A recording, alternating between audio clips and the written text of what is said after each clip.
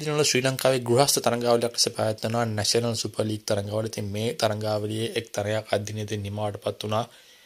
නුවර කණ්ඩායම සහ යාපනයේ කණ්ඩායම අතර. ඉතින් මේ තරඟය ගැන කතා කරොත් එම් ප්‍රථමයෙන් පන්දුවට පහර දෙන්නේ නුවර කණ්ඩායම. ඉතින් දඹුල්ල ක්‍රීඩාංගණය තමයි මේ තරඟයේ ක්‍රීඩා කරන්නේ.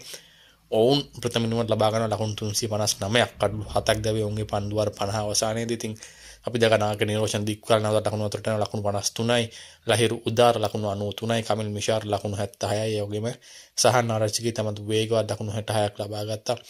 අ ලකුණු 73ක් ලබා ගත්ත පන්දු 66කදී ඉතින් පන්දු යැවීම ගැන කතා කරොත් එහෙනම් වැඩිම කඩලු සංඛ්‍යාවක් ලබා ගත්තේ ජෙෆ්රි වැන්ඩර්සේ තමයි ජෙෆ්න කණ්ඩායමට ඔහු කඩලු දෙකක් ලබා ගත්තා.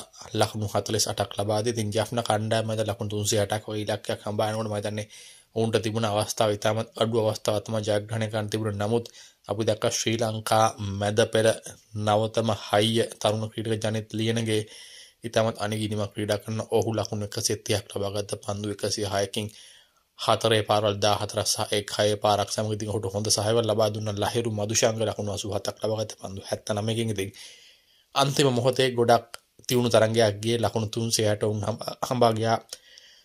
පන්දුවර 48යි පන්දු පහකදී තේතෙන්දි කඩලු 9ක් දැවි අපි දැක්ක විශේෂයෙන්ම 9 වෙනි කඩලු ලකුණු 344ට දැවි යද්දී තරඟේ නැවතත් කරකුණේ නුවර කණ්ඩායම පතර නමුත් අපි දැක්ක අවසන්දී ශිරාන් ෆර්නෑන්ඩෝ තරඟ ජයග්‍රහණය කරනවා යාපනයේ කණ්ඩායම වෙනුවෙන්. ඉතින් ඉතාමත් හොඳ ඉනිමක් ජනිත තියෙන ගියකින් අපි දැක්කා ඔහු ශ්‍රී ලංකා කණ්ඩායම නියෝජකයකදී කොච්චර හොඳට ක්‍රීඩා කරාද කියලා දැන් ඔහු ඒ ෆෝම් එක දිගටම අරගෙන මම මේක ශ්‍රී ලංකා ක්‍රිකට් අනාගතයට හොඳ ලකුණක්.